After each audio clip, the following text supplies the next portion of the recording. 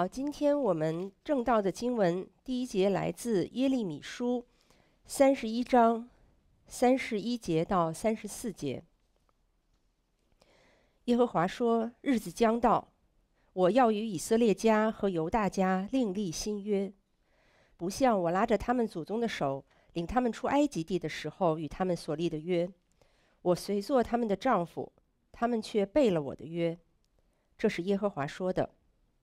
耶和华说：“那些日子以后，我与以色列家所立的约乃是这样：我要将我的律法放在他们里面，写在他们心上。我要做他们的神，他们要做我的子民。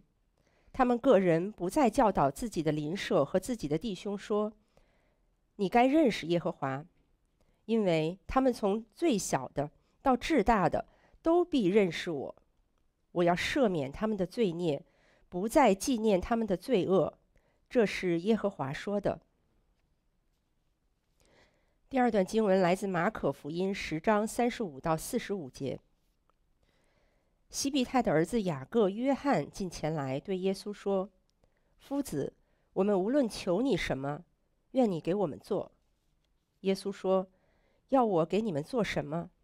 他们说：“赐我们在你的荣耀里，一个坐在你右边。”一个坐在你左边。耶稣说：“你们不知道所求的是什么。我所喝的杯，你们能喝吗？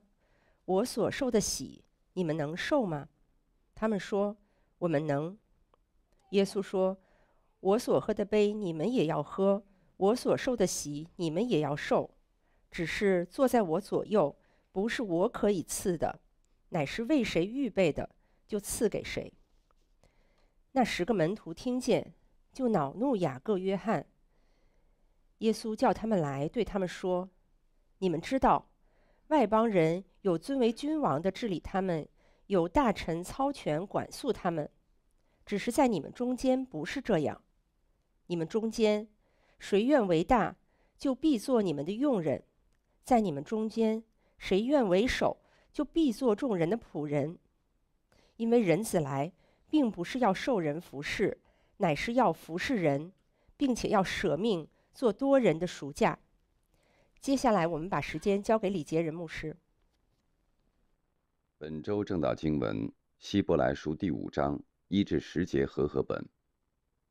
凡从人间挑选的大祭司，是奉派替人办理属神的事，为要献上礼物和赎罪祭。他能体谅那愚蒙的。和失迷的人，因为他自己也是被软弱所困，故此他理当为百姓和自己献祭赎罪。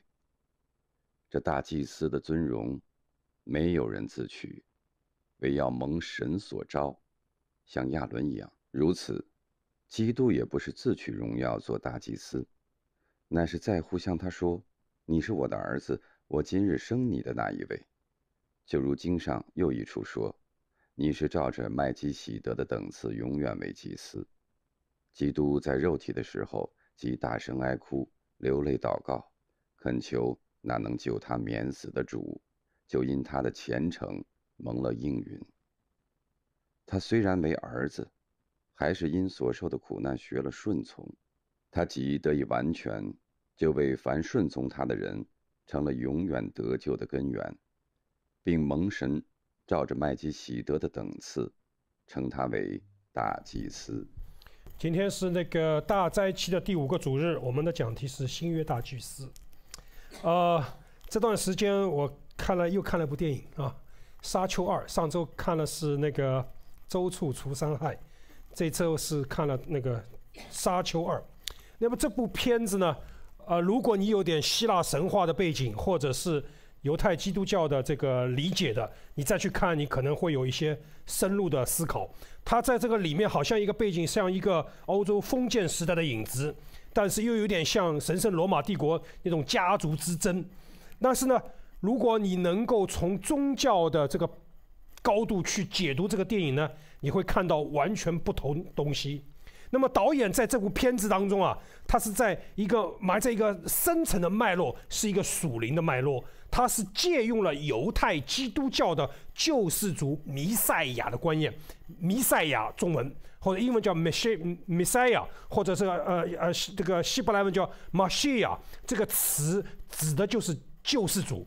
那么基督这个词是 Christos 的中文的音译，它的意思也是救主，所以弥赛亚基督就是救主和救世主的意思。如果当你有这种概念之后，你再去看《沙丘二》的话呢，你会看到原来这部电影它就是围绕着这个主人公保罗，他怎么样作为一个救世主出现在这个剧情当中的。所以这个词的问，在这个电影当中多次出现，中文把它翻成叫什么“天选之子”。啊，后来在这个中中间的开始，这部电影就不断的出现，直接就用了“弥赛亚”“弥赛亚”这个词。那么在犹太的文化当中，对于救主的观念或者救世主的观念的解读，跟基督教的文化当中有一点点不同。因为犹太的文化当中，这个弥赛亚他的观念是一个复国的。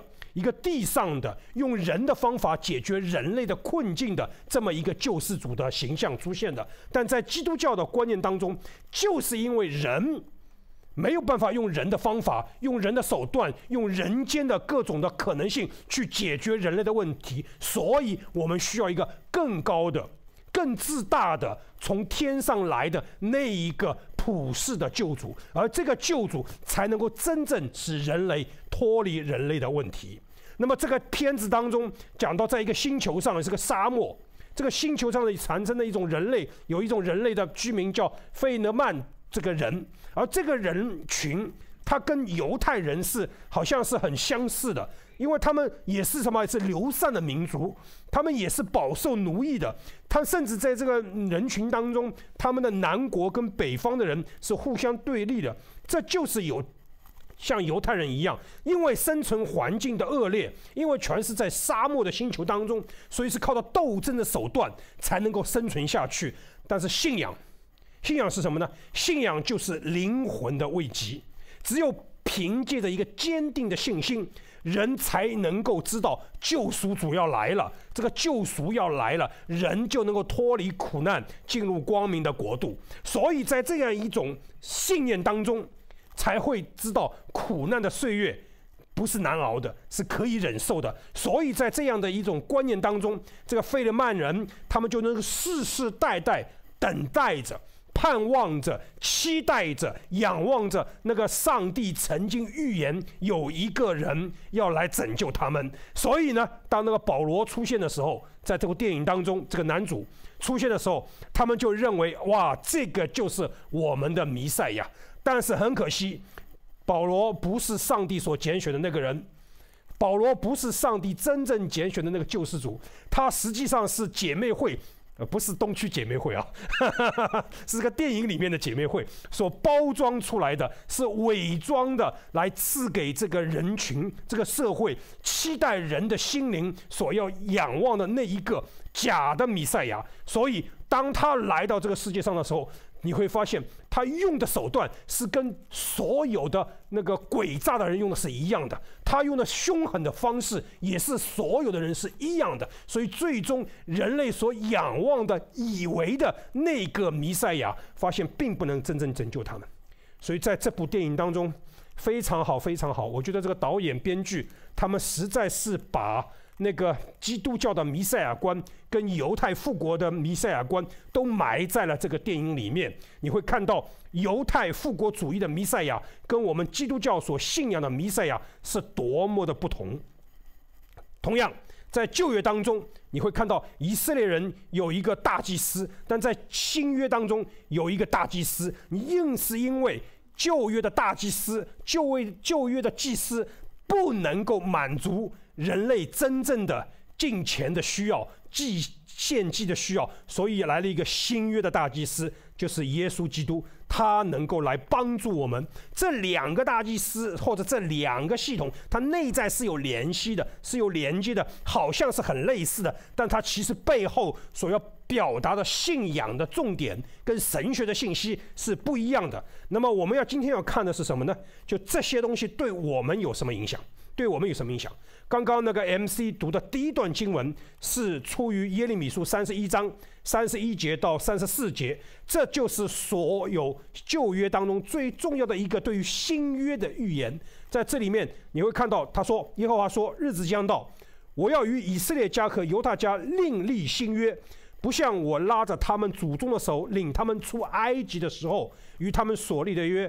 我虽做他们的丈夫。”他们却背叛了我的约，这是耶和华说的。耶和华说：“那些日子以后，我与以色列家所立的约乃是这样：我要将我的律法写放在他们里面，写在他们心上。我要做他们的神，他们要做我的子民。他们个人不再教导自己的邻舍和自己的弟兄说：你该认识耶和华，因为他们从最小的到自大的都必认识我。我要赦免他们的罪孽，不再纪念他们的罪恶。这是耶和华所说的。在这里面就看到，就是因为旧约破裂了。”西乃之约破裂了，亚伯拉罕到大卫的约破裂了，因为以色列人离弃了上帝，背离了上帝的盟约之后，这个约被打破了。打破了之后，上帝说：“我要跟你们另立一个约，就像一个婚约一样。原来的婚约破裂了，但上帝说我要另立一个约，而这个约是比原来的约更好的一个约，更美的一个约。为什么呢？我要把这个约刻在你们心里面。”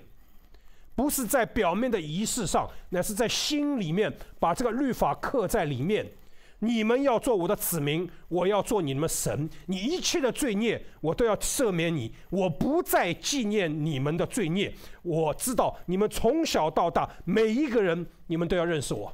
这就是在耶利米新约的这么一个预言。那么到了希希伯来书，就刚刚我们那个播音员读的那一段呢，他就让我们看到新约大祭司出现的时候。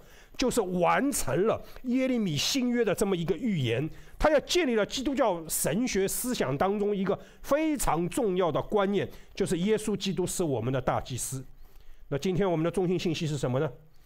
就新约大祭司耶稣基督，我们的救赎主，他是以生命来完成上帝与我们人类所立的约。我讲两个，第一个，第一点是旧约大祭司的失败，第一节到第四节。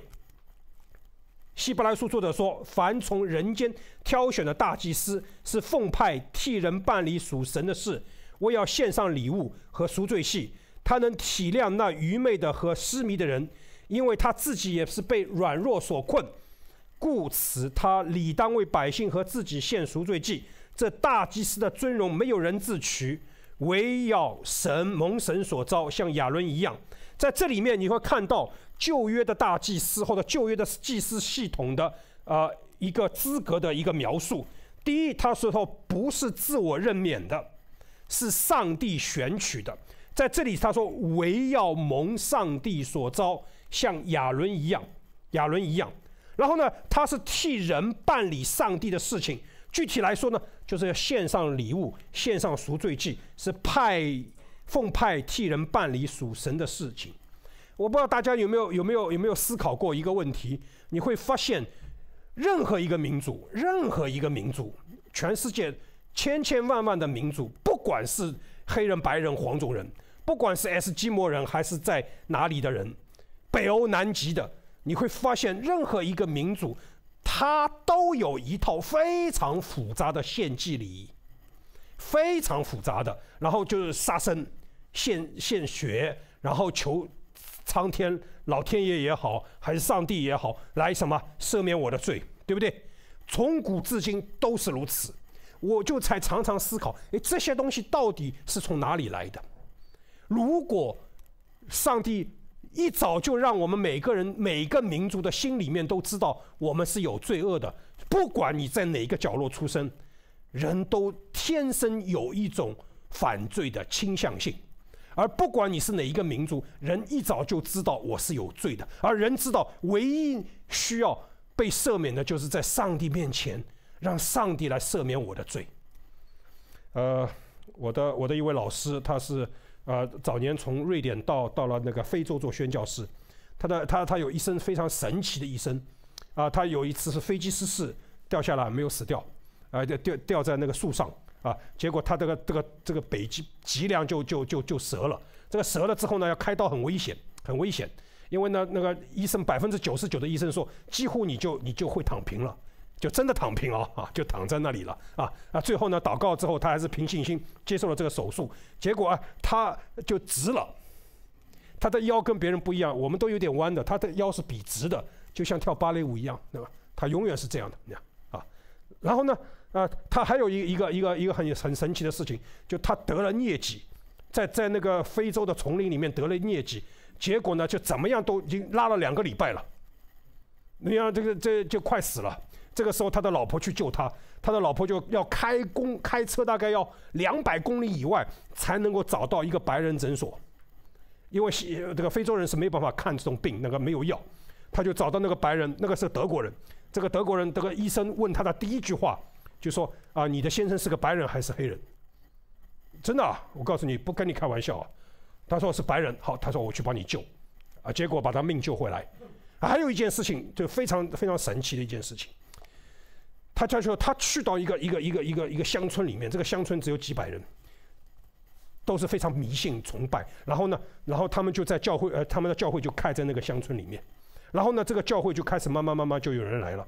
就说有一天的晚上，他他他碰到一个他最不敢碰的一个人，就这个村里面有一个祭司，就这种土著的那种祭司。这个人是奇丑无比，没有眼睛的，就是眼睛是两个洞。是这样的一个人，但是他是祭司哦，就是他们那个那个那个村里面的祭司，他知道，然后这个人就跑来跟那个我的老师说，他说我虽然不不是很明白你讲的那套东西到底是什么，但是我知道，我心里知道，你传的那个是真的，你传的那个上帝是真的上帝。老师跟我说，那天晚上风雨交加。整个房子都被吹倒，树倒下来，整个的好像一场属灵征战之后，结果第二天早晨醒来，那个祭司死掉了。我当时还没有听懂，我还问老师，我说谁杀了他？你现在听懂了吗？所以，所以在人类无论是哪一个民族，无论是每一个群体，你都会发现有一套非常复杂的祭祀的这个传统。但是呢，在这里面你就看到，在旧约圣经里面看到上帝所选召的祭司，他的一些特征，他不是自我自告奋勇来的，他是被上帝拣选的，他是奉派来替上帝办人的事，因为人要献祭，人为了自己罪的缘故。然后呢，让我们看到他实际上是在上帝跟人类之间的一座桥梁。一座桥梁，人就透过了这个祭司，可以来到上帝的面前。然后呢，他也体恤人的软弱，因为他是从人间来的，他就是我们中间的每一个当中的一个。所以呢，他自己也有软弱，但是，所以他就圣经在这里说，他必须为自己的罪献上祭物，他也为别人献上祭物，故此啊，理当为百姓和自己献祭赎罪。所以。大祭司最基本、最最重要的一个资格，就是是上帝选召，不是人选召的。但是后来你会发现在圣经里面，你会发现一个事情，一个事情就是祭司制度腐败了，是不是？如果你看，你看西乃之约，它有三个制度，上帝设立有君王、有祭司、有先知，除了先知之外，另外两个全部腐败了。最根本的原因，所以根本没还没有做过很严谨的学术。学术研究了啊，但是很值得做的。君王跟祭司之所以腐败的原因，我认为是世袭制度。世袭制度，但是先知不会腐败，先知这个制度不会腐败，为什么呢？因为先知是什么？不是世袭的，所以以赛亚是不可以说我把先知的位置传给以赛亚二世，没有的，对不对？但大卫就把他的王位传给了所罗门，到所罗门已经有点不对了。所罗门再传给他的儿子那个罗伯安，那个那个国家就分裂了，那国家就完蛋了。你看那个那个亚伦也是啊，亚伦的儿子什么那个拿达亚庇户，他们去抬约柜的时候是什么？圣经说他们没有做耶和华所吩咐他们做的事情，所以他们就被上帝什么击杀，击杀的。所以在这里面我就看到一个旧约这个这个祭司制度腐败的原因。它其中包括权力的乱用、道德的败坏、对上帝的敬畏的心减少、利益等等等等。但最根本性的，我相信是一个祭司制度的祭司的制度，因为在这个继承的制度当中，祭司的地位就通过世袭来完成，而导致了很多并没有被上帝呼召的成为祭司。呃，这个问题其实在今天的教会也蛮严重。今天教会有很多是世袭的，开始有世袭的。那我做了一个小小的一个 study 观察哦，那个二代教会的二代当中，极少数成功的，极少数，大概在北美我看到只有一个 case，就是那个那胡木教会这个。那个 Lakewood 的主任牧师叫 Austin，他继承他的爸爸，教会发展有十倍。那其他的都没有，都都不是很很那个。那哦，一位我跟北京的一位牧师在探讨这个祭司制度的问题的时候，那他说可能这个是一个洞见，但是呢，你整个问题怎么样放在一个解经或者神学上去去思考它呢？毕竟在西乃的传统当中，你会看到先知、君王、祭司。君王跟祭司都是什么？都是传承的，都是系系世袭的。而这两样更要命的是，这两样世袭的执事是上帝命令的，是上帝允许的。就大卫把王位传给他儿子，对不对？那么这里面世袭制，但是的确我们又不能否认，世袭制是会导致腐败的。那我就在想，里面用用这么一个观念来看啊。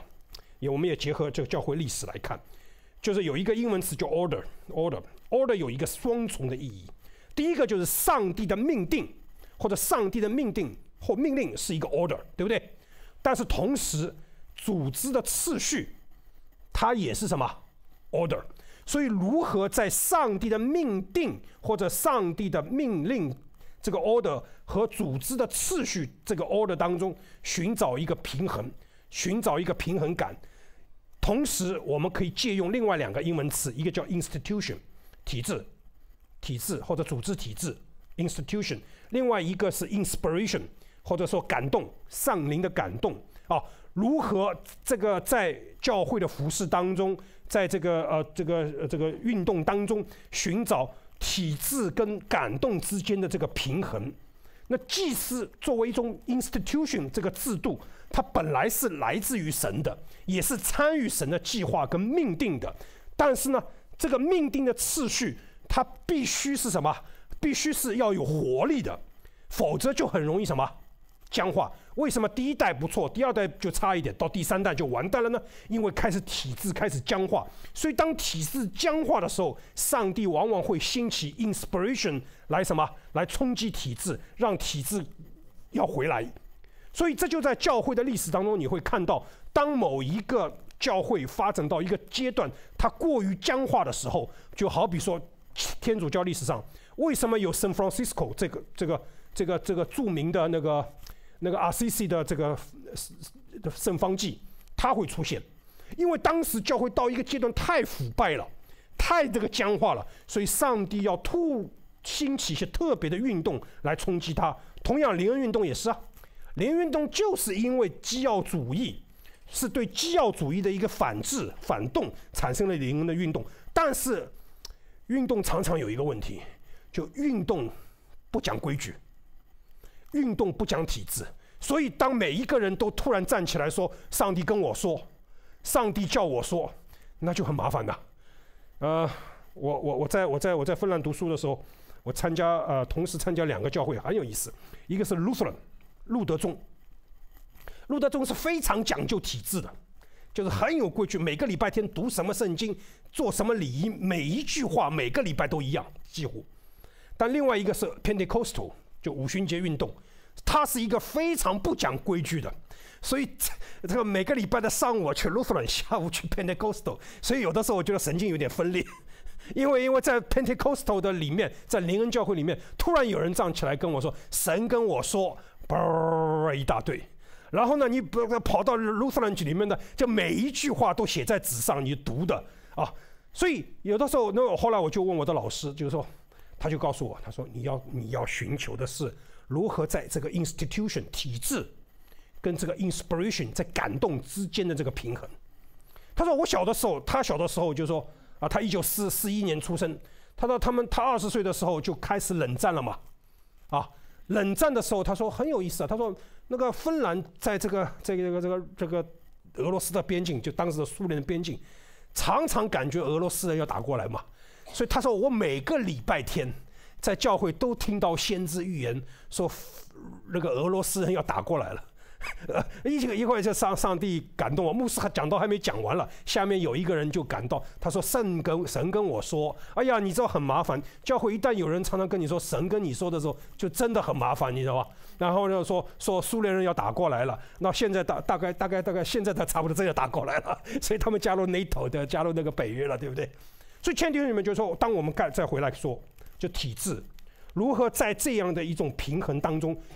太过于体制的时候会僵化，但是太过于这个感动的时候会混乱。如何在这个当中寻找一个平衡，实在是我们今天需要在治理教会的过程当中非常需要小心的。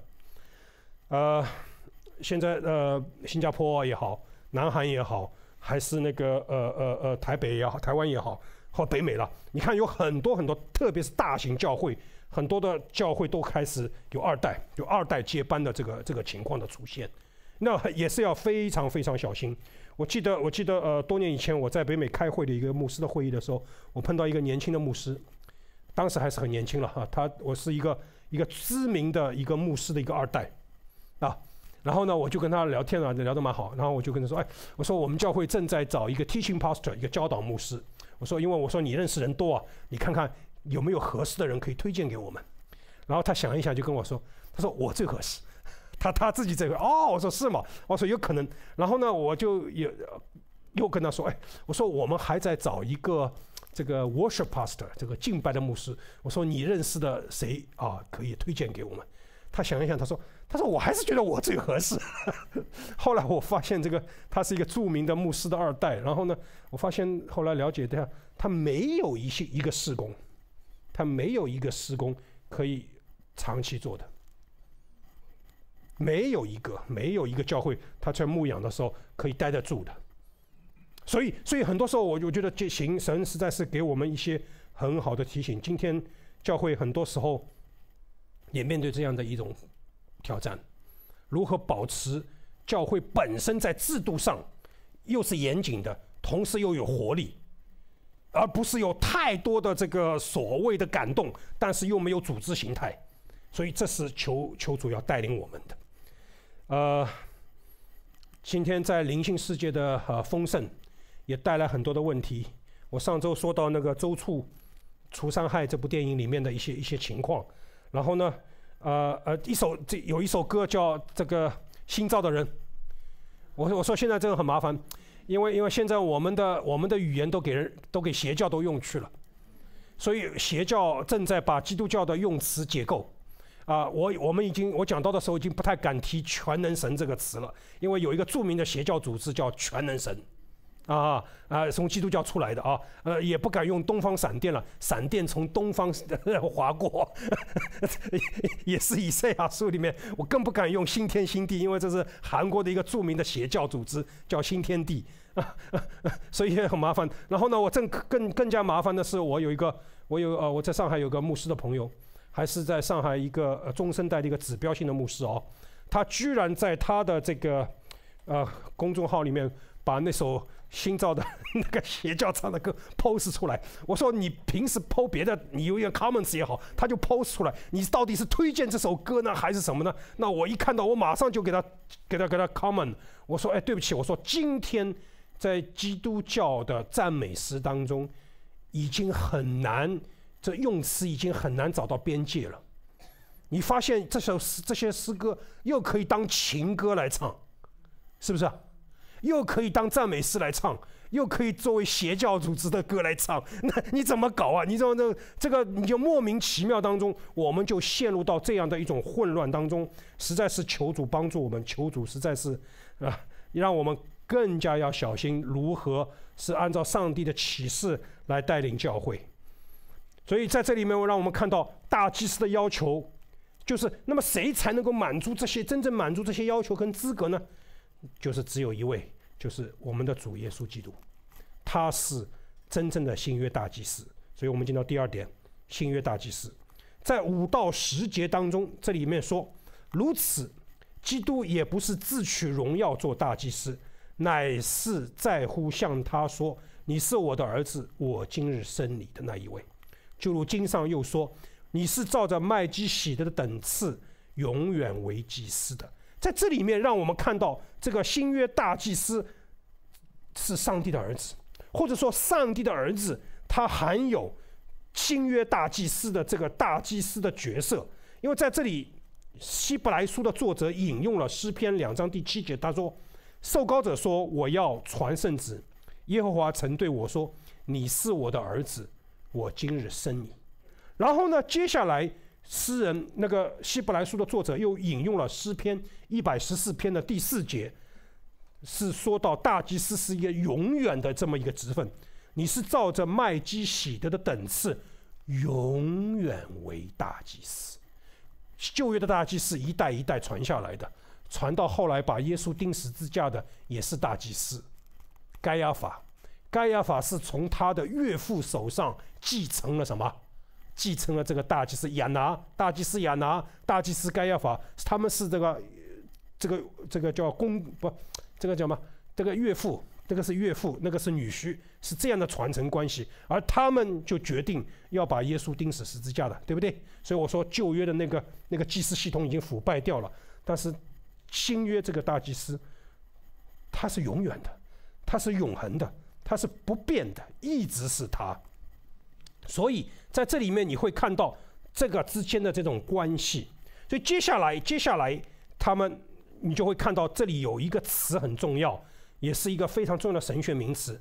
他说是照着麦基喜德的等次，永远为祭司。这个麦基喜德是谁？麦基喜德这个词在旧约当中多次出现，特别在创世纪、在诗篇、在新约当中希伯来书第七章、第五章也多次出现。它的最基本的词的意思是“公义的王”，这个词的希伯来文是“公义的王”或者“仁义的王”。而他的职分是什么呢？他是又做王又做祭司。创世纪十四章十八节，又有撒冷王，看到没有？他就是原来耶路撒冷的王。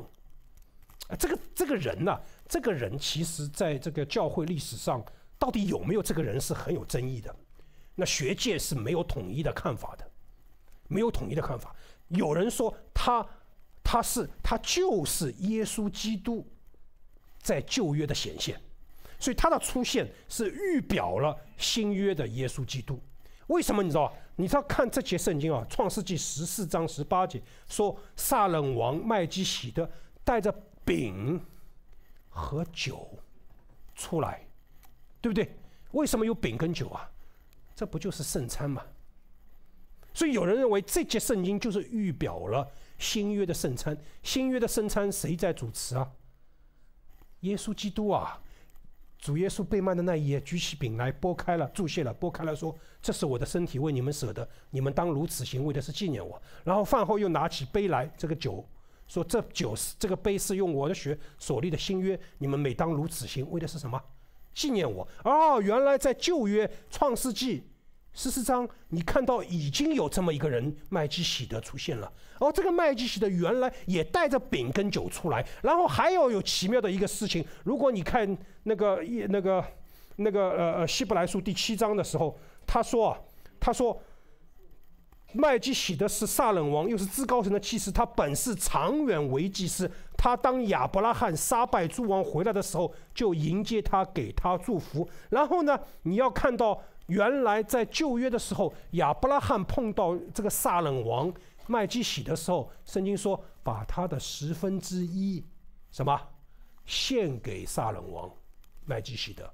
哇天哪！你有没有想过，谁会把十分之一献给？是是谁呀？我们要把十分之一献给他？谁呀？上帝呀！是主啊！是我们的上主啊！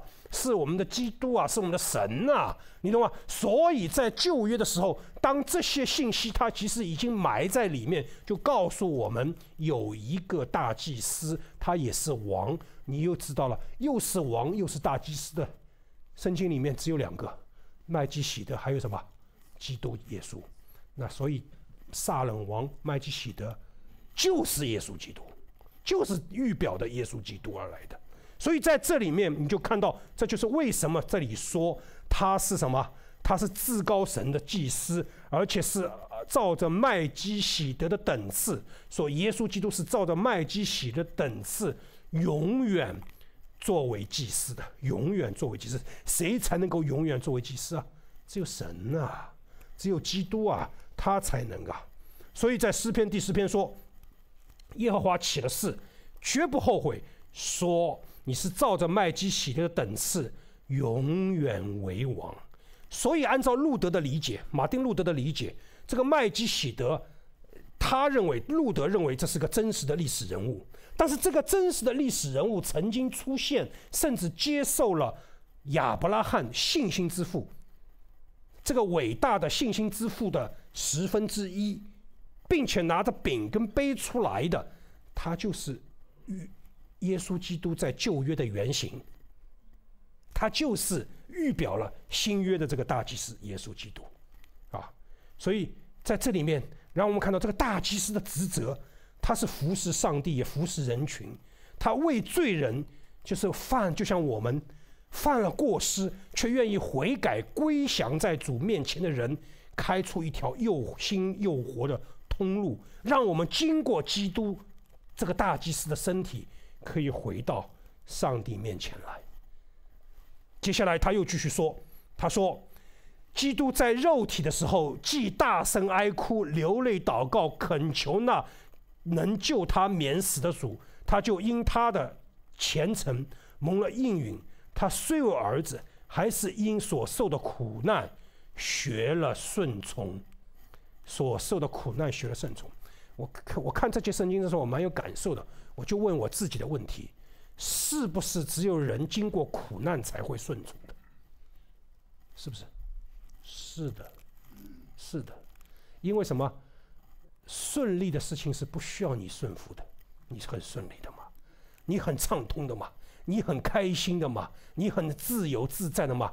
不需要顺服的。顺服是什么？你走不通的时候，当你碰到很多困境的时候，你被阻拦的时候，甚至你的肉体跟你的心灵都受煎熬的时候。这个时候可能需要的是你学习顺服了，呃，所以这个 这圣经有时候讲的也也很厉害，圣经的话说有钱的人进神的国是多么的难呐，啊，因为因为钱已经能够把你的所有的问题解决的时候，你就很难需要耶稣啊，你很难需要耶稣啊。这两天我收到一个弟兄给我的一封信，这个这这个弟兄跟我关系蛮亲近的，他们两夫妻都跟我蛮好的啊。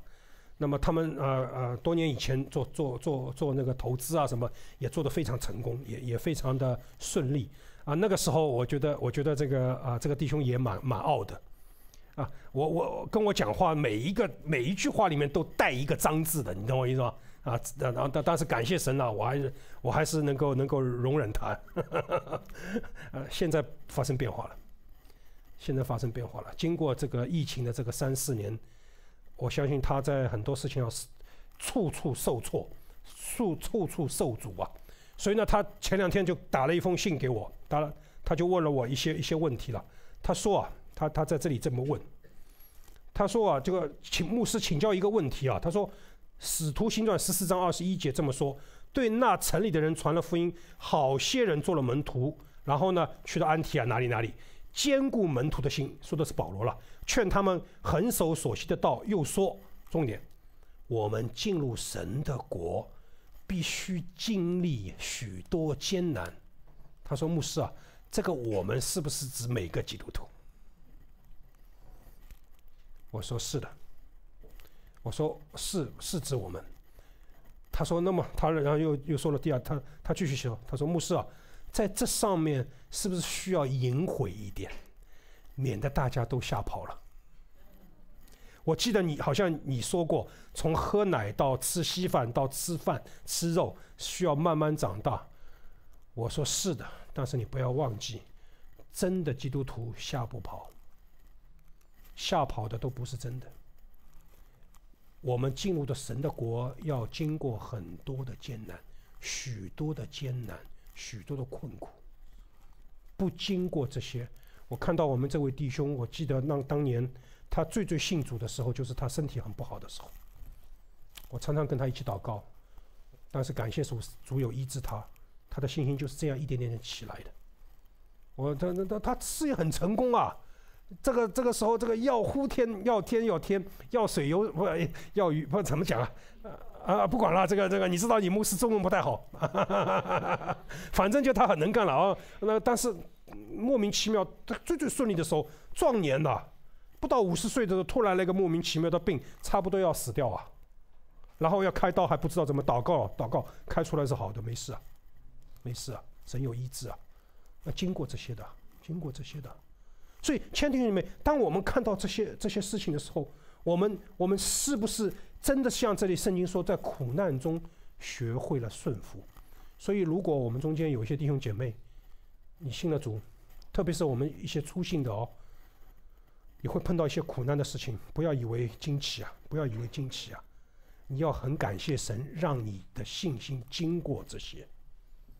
因为你的心性经过试炼、经过苦难的熬炼，才会显明是真的还不是真的，你才知道你是不是一个真的，你懂我意思吗？好的时候，那个那个这两天我我我前两天突然看到啊，看到呃呃某位姓秦的部长的一个一个宣誓的照片，秦部长的这个这个是宣誓的照片，我觉得这蛮幽默的，你懂我意思吗？啊，这还是蛮幽默的，而这这这些人是共产党员吗？我心里面就就常常在问呢，我说我说说个我我说我经上这个好好整这帮家伙，我说也活该啊这些人呢，你懂我意思吗？那这些这些每一个那个这个三千个人每一个都是这样的，你懂我意思吗？我我就在想他们他们是真的吗？你明白我讲什么吗？所以亲爱的兄弟们，我今天在这里也是问你啊，问我自己啊，我们是真的吗？我们我们我们没有顺利的时候，我们还相信吗？我们的事业不再那么飞飞黄腾达了，我要上市的也是上不去，我家里还被抢的。我们我们我们有一位弟兄啊，啊，他在中国的时候，那他很很那个，然后呢，他他他就他他就一直叫我祷为他祷告，这个呃，他他可以上市成功啊。结果我我也为他祷告了，也没有上市成功啊，真的没有上市。那么我还相相相不相信呢？所以，亲爱的弟兄们，我们这现在就碰到了一个很现实的问题：我为什么来主日？我为什么来相信上帝？我为什么要相信这个主？我到底应当求的是什么？又是这个问题来了。所以有的时候弟兄弟兄姐妹的需要，我觉得也也我很理解了。我们很希望我们在主日牧师讲一点实际一点的，跟你有关系的。但是我又常常说，牧师有的时候如果讲的太多都是实际的东西，教会就不是教会了。你懂我意思吗？如果我们讲的东西都是很务实的，哎呀，呃，那个什么，你的儿、你的女儿们是不是买到学区房了？啊，你的那个家里面嘛，现在那个是到底经济情况怎么样？是不是可以祷告一下，你的收入可以翻倍？啊，然后在疫情当中嘛，可以走出来之后怎么怎么样？我我我我不是说这是错的哦，我我我觉得基督徒也是需要务实的精神的，但是很多时候我觉得问题出在哪里呢？我们务虚的地方我们从来不碰的。其实是需要的，就常常就，我现在上一场我就举到一个例子，我们谈恋爱的时候，你发现吗？你有讲不完的话，你发现百分之九十是空话，你没发现？是不是？我讲的对不对？如果我跟你说，如果你跟你的恋爱的对象一天到晚或者你都讲的是实实在的话，很麻烦的。我看到今天的夫妻关系，今天我们的夫妻关系出问题，就是因为我们百分之一百都是在讲什么实实在在的务实的东西。你收入是多少啊？你怎么样啊？房贷怎么样啊？车贷怎么样啊？啊，买到学区房了吗？而孩子升学怎么样？到底去美国多？这些都是实在。我觉得不是说不需要，我们是需要的啊，我们是需要的。但是问题是，夫妻感情不是单单只是这些东西啊。夫妻感情，你们在认识之前、结婚之前，你们极大多数讲的都是什么？务虚。你看我顺眼，我看你顺眼，我对你有感觉，你对我有感觉。电话哪里有那么多好好讲的？哎，但是就是能讲，是不是？所以呢，但是今天我们跟主的关系也是这样。今天我们跟耶稣基督的关系，就是我们跟他祷告也好，我们祈求也好，我们要了太多的务实的东西，但是我们从来不务虚。我们从来不去想的主啊，你怎么样让我更爱你？你们祷告里面有吗？很少。主啊，你怎么样让我跟你的关系更亲近？主啊，我怎么样更能够明白你的心意？主啊，你让我怎么样学习到用你的眼光来看世界？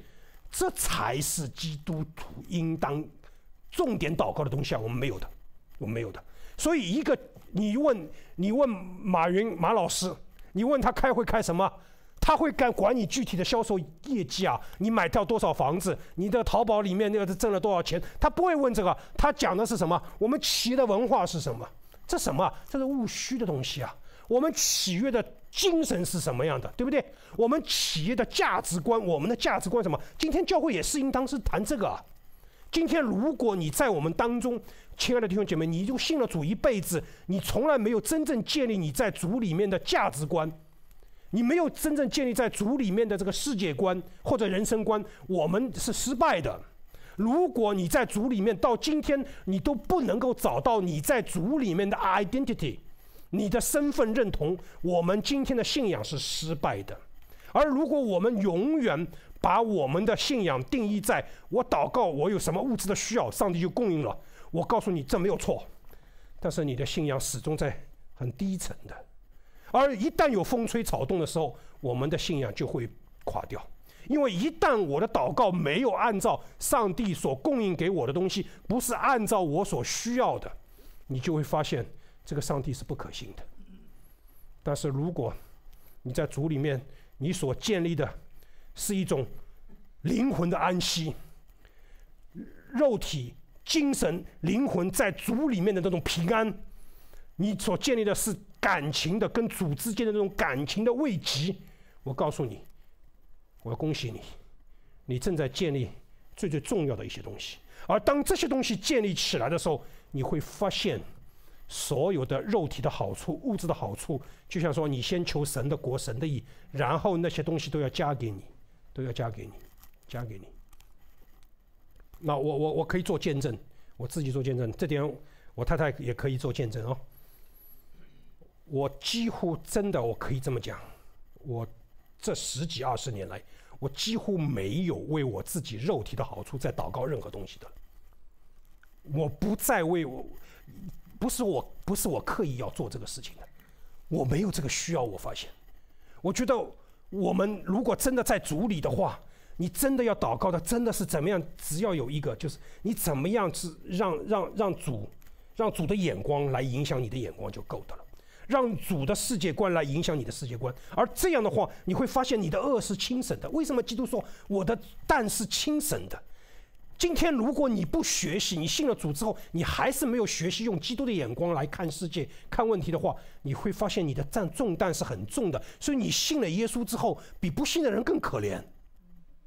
你信了主之后，因为什么？因为不信主的人，他只有一个目标就够了，他只要在这个世界上追求。他所要想要得到的东西就够了，但是你发现你信了主之后，你发现追求那个东西的时候，你心里不平安。你追求主又不又全心全意，所以你更加痛苦。所以这就是今天基督徒我们的属灵的光景啊！这就是我们说我们的灵性生命没有办法建造啊！所以求主帮助我们如何在灵性上去更多的去认识神呢？啊我我我上周讲完到有一个小弟兄就写写了很长一段信给我啊。他他就他就问我啊，他说牧师啊，他说我想听听听完你的讲道，聊聊我的收获，就是为什么来教会？为什么来教会？他说他在公司里聚餐的时候，跟他老板，他老板也信主，好像就问他，他说啊，你每周都去教会啊？他说是，他说我除了春节那个不在啊，那个那个上班之外，哎，我都去教会。然后呢，他就他就说我为什么心里想啊，我必须去啊。我必须要充电啊，因为只有在教会的时候，我才能得到短暂的安息跟放松啊，才能够忘记跟屏蔽很多很多烦恼的东西啊。所以今天他说，基于牧师的分享，他说我又问我自己，为什么去教会？他说我想更了更多的了解认识上帝。他说我要更深的认识上帝。他说我虽然不能够听到肉身的主耶稣基督的讲道，但是我可以听到主耶稣基督的仆人。关于上帝的信息的深度分享，所以我要来来教会。他说一周一次的主日崇拜亲近神，礼拜听到总得参加吧。所以呢，但是这点我就我我就有个回应啊，我觉得非常棒的一点就是说，为什么我还是希望大家要来参加线下的聚会，不要单单留在线上。就在昨天，有一个有一个我去分堂探访，我们分堂的有一位有位带领有一位姊妹，她就跟我分享，她这个东西啊，就像她教导她的女儿一样，她就跟女儿说啊，你千万不要网恋就觉得可以了，听过没有？网恋。就是我们这代人就没有网恋的，我们就比恋，比恋。我告诉你，比恋常常出事情啊。异地恋很糟糕。你发现异地恋有的时候糟糕在哪里呢？你把恋爱的对象什么，不管美化丑化了，反正有很多不现实的东西放在这段感情里面了。同样，同样，今天一样的道理。所以，所以感情需要经历的，需要见面的。你不是这个，所以今天年轻人不是比恋，我们比恋。现在年轻人，我那我记得后来就记得很清楚啊。那时候我一个好兄弟，他的女朋友每天他给女朋友写一封信，每天写一封信啊。他在西安，女朋友在女朋友在西安还是他在西安，我忘记。一个在北京，一个在西安，每天写一封信。这个这个那个男孩子后来那个女孩子变心了。这个在物质面前，人是很容易变心的嘛。然后这个男孩子想办法怎么样挽回他嘛？就把他那么多年写的信，从西安还是北京，我忘记了，带去要给他看，啊，结果把他暂时挽回了，还是不行。为什么？需要见面的，感情是需要见面培养的，所以夫妻不可以长期分开，啊，一定要在一起。这个东西呢，因为什么？你们的感情也需要进到另外一个阶段。进到另外一个，从这个阶段进到另外一个阶段，这跟基督耶稣的感情是一样的。这就是我说我在主里面去培养的东西。所以这个弟兄就说他总结啊，他第一个我来教会是为了灵魂安息啊，精神的安息啊，甚至肉体的安息啊，而且还有感情的慰藉啊。为什么？他说，毕竟我跟李牧师，跟一部分弟兄姐妹还是很有感情的部分啊，部分啊，不是所有的啊，因为教会里面有些人你也不太喜欢的，跟他没感情的，对不对？第二，他说要更多的认识神，总感觉他说牧师对上帝的认识了解比我多。我说不一定，不一定，知识上可能比你多，感情上未必。我看你是跟耶稣基督蛮有感情的，对不对？然后呢，第三，在特定的时间空间，跟群体中跟主有交通，在敬拜祷告当中跟神对话，经历圣灵的浇灌，对我心里面说话。所以，亲爱的弟兄姐妹。我们夫妻之间、朋友之间要多聊天，不要谈单单朋友一见面就谈生意，要谈什么？要谈那些看起来好像是无聊的事情，要看谈那些好像是能 sense 的东西，要谈那些是很虚，好像是很虚的，但是这才是一个积累。同样跟神的关系也是这样的，不要一见主的面是说主啊，求你帮我解决谁谁谁谁谁。而是主啊，你让我跟你在一起，你让我安静在你里面。我我想啊，第一个，我我的自己祷告的经验啊，第一，我我这十几二十年，我很少，我几乎没有为我自己的这个需要祷告了，这是第一个。第二个，我觉得我祷告当中最好对我最重要的，不用太长时间的，可能这个半个小时就够的了。但是你是真的在主里面安息的。你就花这个时间，但是我们今天的问题在哪？我们连这十五分钟、二十分钟要拿出来安静都不愿意呀，都不愿意啊。我看我们真的很忙啊，我们的弟兄好不容易来聚会一下，还有个电话把你打出去，对不对啊？你知道我为你来，我我祷告了多久吗？你兄弟愿要要为你来花了多少心思吗？从礼拜四到今天呢，我们那个啊啊不容易啊，对不对啊？我也理解了，我们是个世界上有很多的烦恼的事情，但是请你，come on，请你每天拿出半小时，你单单安静在主里面，我可以，我几乎可以百分百啊。百分之一千的跟你说，你可能得到的真是超过你所思所想，因为这个东西，这个世界上的人是没有的，你有啊，而且你可以经历的更丰盛，你一定超过他们，因为你到时候你就能够站比他们站得高，你就能够比他们看得远，你就能够看透属灵的世界，因为属灵的人才能看透属灵的事啊，属神的人才能看透属灵的事啊，所以求主帮助我们，对不对？所以亲爱的弟兄姐妹，我我我们在一起，我们谈什么？我们就是要建立基督徒的三观呐，我们的世界观，我们的价值观。我们的人生观，我们就是要建立在基督里面的这个基督徒的身份啊！今天为什么我们很多时候听诗歌听了就莫名其妙？那些莫名其妙的诗歌就把我们引去了，因为什么？我们自己的基督徒的 identity 没有站立起来，没有稳固起来，没有建立好啊！所以我们会随意的漂流啊！所以求主帮助我们，我们就是要建立一个基督的文化在我们生命中，让我们知道我们跟这个社会的文化是有哪些区别的。我们是有怎么样的一个辨别力，所以求主帮助我们。好，最后我要做做，我已经过了时间了，所以我就结论了。我的结论就是想用马可福音十章三十五到四十五节这一段，这一段耶稣基督跟对门徒的教导，恰恰是耶稣基督的命令，也是让我们看到是耶稣基督回应了先知耶利米对于新约的这个要求。他说什么？他说耶稣说。你们不知道所求的是什么？你所我所喝的杯，你们能喝吗？我所受的洗，你们能受吗？他们说我们能。耶稣说：“我所喝的杯，你们也要喝；我所受的洗，你们也要受。”然后他就说：“你们中间谁愿意为大，就必做你们的用人；在你们中间谁愿意为首，就必做众人的仆人。因为人子来，并不是要受人的服侍，乃是要服侍人，并且要舍命。”做多人的暑假，这最后一句就是让我们看到他的身份，耶稣基督的身份是新约大祭司，他就是来到这个世间牺牲他自己为我们，然后我们透过他的身体可以回到上帝的面前。你们。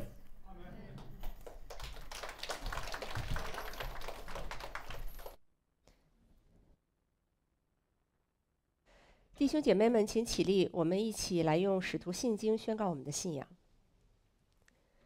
我信上帝，全能的父，创造天地的主。我信我主耶稣基督，上帝独生的子，因圣灵感孕，由童贞女玛利亚所生，在本丢比拉多手下受难，被钉于十字架，受死，埋葬，降在阴间。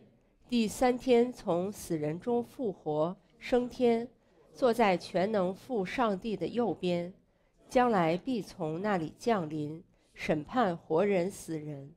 我信圣灵，我信圣而公之教会，我信圣徒相通，我信罪得赦免，我信身体复活，我信永生。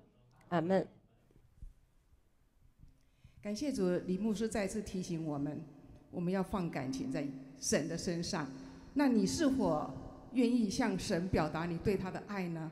让我们一起来赞美我们的主，亲爱的主耶稣，你是不是可以经常跟神这样讲？亲爱的主耶稣，你是我的救主，你是慈悲的救主，你为了我的罪被钉在十字架上，三天死里复活，是为了救赎我们这不配的人。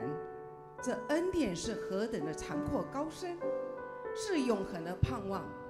主啊，你配得，你配得我们的敬拜，你配得我们所有摆上我们所有的爱。我们一起来赞美我们的耶稣。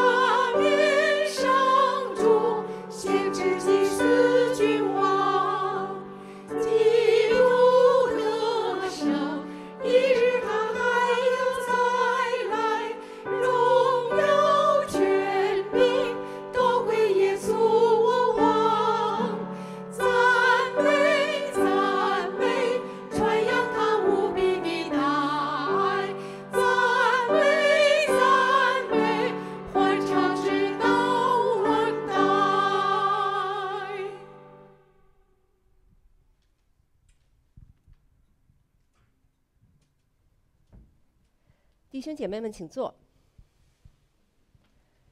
下面是收奉献的时间。我们现场呢虽然是有 WiFi 的，但是呢，我们请大家呃优先使用自己的 4G 或者 5G 网络，因为现场的这个承载量有限。如果你连不上 5G，再连现场的这个 WiFi 网络。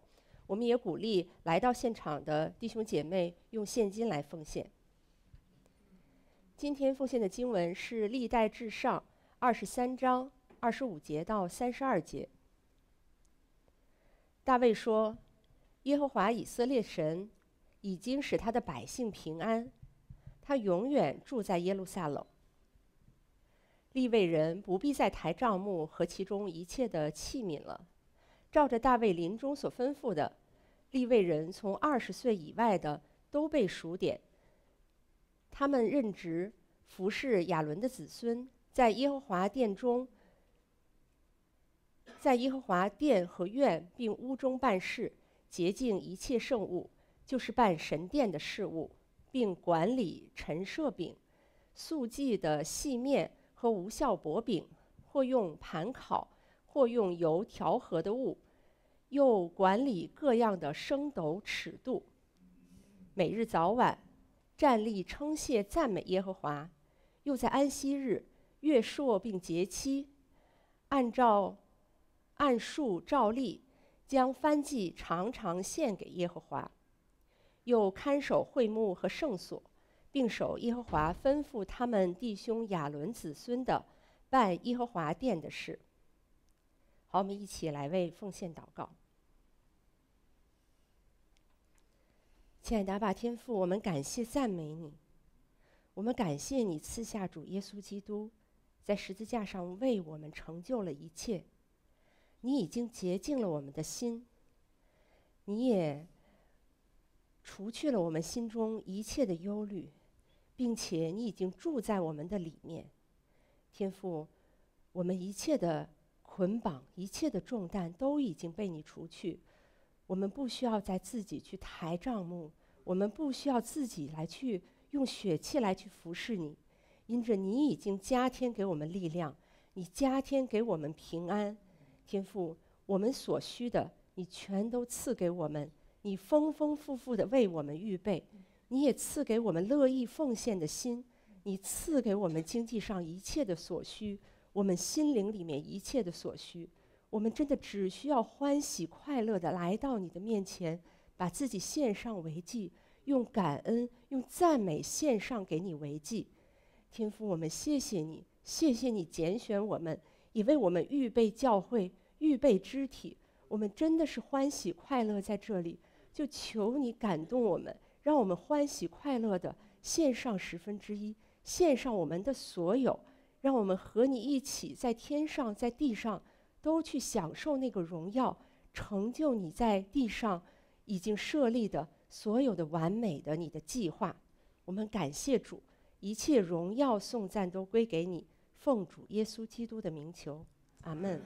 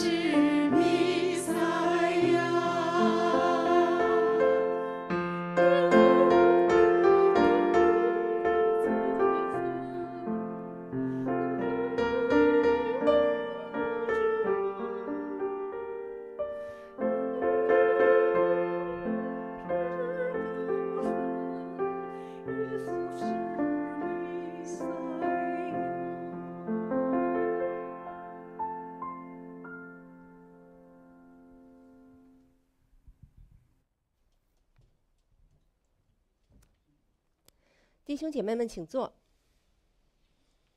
我们今天的主日敬拜即将结束，如果您有代祷的需求，结束之后可以来到舞台的这一侧，我们有童工，呃，来和你一起祷告。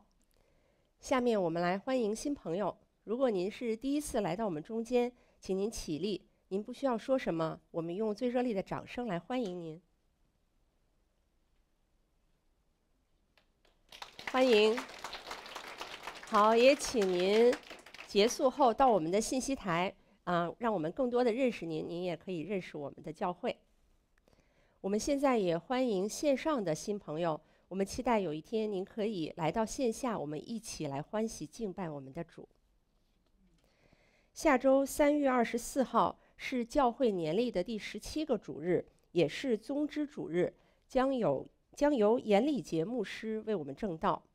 下面请大家观看视频加时报告。这是我们本周的青少年节目，欢迎参加。更多详情请到网站查询和关注。IMS 儿童主日学将恢复线下学习，弟兄姐妹们，线下儿童主日学将在二十四号正式开始。开放时间在每周日上午九点三十分至十一点，届时将线上线下同步进行。地点：时光中心大会议室。欢迎六至十二岁的小朋友们踊跃参加。更多详情，请您在会后在信息台咨询或发邮件到 hccatimscn.org 进行咨询。IMS 神学讲座困境与出路已经在官网上线了。请您打开官网后，先点开资源，再找到讲座一栏，就可以查询到，并且也可以找到过往所有的讲座和神学课程。同时，您也可以直接通过网站首页的神学讲座按钮进入讲座页面。欢迎弟兄姐妹们访问我们的网站，发现一系列精彩纷呈的讲座活动。弟兄姐妹们，二零二四年 IMS 受难日特会。将在三月二十九日举行，届时将采用线上线下两种方式。在纪念的礼仪中，参与基督受难，思想与持守上帝拯救的盼望。我们既然与他一同受苦，也必与他一同复活。盼望弟兄姐妹踊跃参加线下聚会，具体时间和地点及网页信息，请见海报。IMS 第二届吉他速成班要开课了，急着诗歌的认识、乐理的学习、弹奏的技巧，装备更多想要以音乐来服侍主的弟兄姐妹。吉他班共十二课，每周六在视光中心举行，学费是一千元。欢迎十二岁以上的弟兄姐妹参加，也可以邀请朋友们参加。有兴趣的弟兄姐妹可以扫二维码，获知更多详情。弟兄姐妹。邀请大家参加每周三晚上七点到九点的线下查经祷告会。祷告会将由牧者带领查经或主题分享，接下来带领弟兄姐妹祷告，最后也会以分组的形式，让弟兄姐妹能彼此代祷、彼此守望。如果大家有特别代祷的事项，也可以发到代祷邮箱，i m s p m at i m s c n dot o r g。查经祷告会也会在 Zoom 平台上同步播出，请大家按链接上网参加。接下来，请李杰仁牧师为我们做祝福祷告。啊，那个也报告一下，我即将呃下周启程去到温哥华。那今年是我的安息年，那我也是跟长老团有申请，我们用这几个月的时间，把温哥华的教会。建造的更加强强健，也请大家为我的行程祷告，啊，我会回来的，啊啊，我会回来的，好，我们一起领受上帝祝福，嗯，亲爱的主，我们感谢你的恩典，我们聚集都有你的美意，我们都是你所做造，我们也是你的在乎，我们的生命气息也都在乎于你，求你真是按照你丰盛的恩典跟灵敏，你的慈爱来引导我们每天的生命，主啊，带领我们的教会，愿耶和华用他的脸。光照你们，赐恩给你们，祝福你们，向你们扬脸，从今时直到永永远远。阿门。